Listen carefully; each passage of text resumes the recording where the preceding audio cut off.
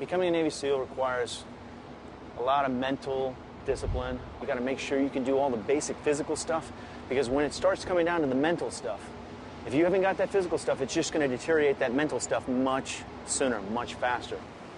Do you have the courage to start? Do you have the commitment to finish? And do you have the clarity of vision, seeing exactly what you've got to get done, that you're going to stick it out no matter what?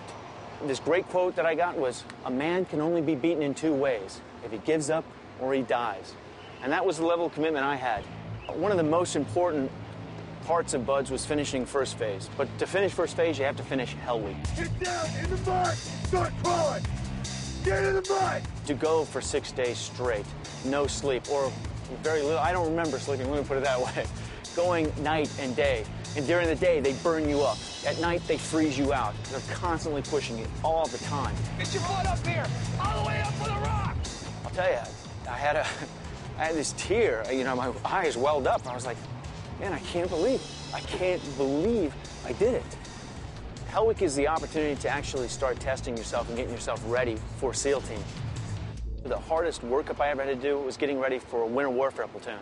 Being in those Arctic temperatures, sometimes minus 65 degrees below zero, and you're learning how to ski and you're skiing 20 miles at a time with sometimes a 100 pound pack on your back, that's a lot of weight. You're moving up and down mountains, and uh, it was just tough. It was tough. The major discipline that you have to have as a sniper is patience. And that was really hard for me to develop. And I didn't realize I was such an impatient guy. But I made a shift. There was this slow but really intense connection I had to what I was doing. My connection to the land, to the terrain, my connection to the target. When you're talking about uh, shooting a rifle, I could be shoot, saving my buddy's life. Me taking out that one guy, that adversary, that enemy, whatever you want to call him, bad guy, that could make a difference of whether my guys get home to their families. That was a very small kid, and uh, you know, I, I took my fair share of beatings, and I wanted to develop uh, the capacity to take care of myself.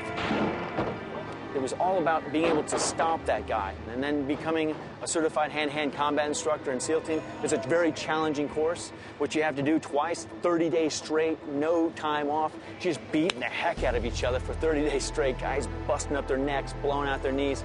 It's a tough course.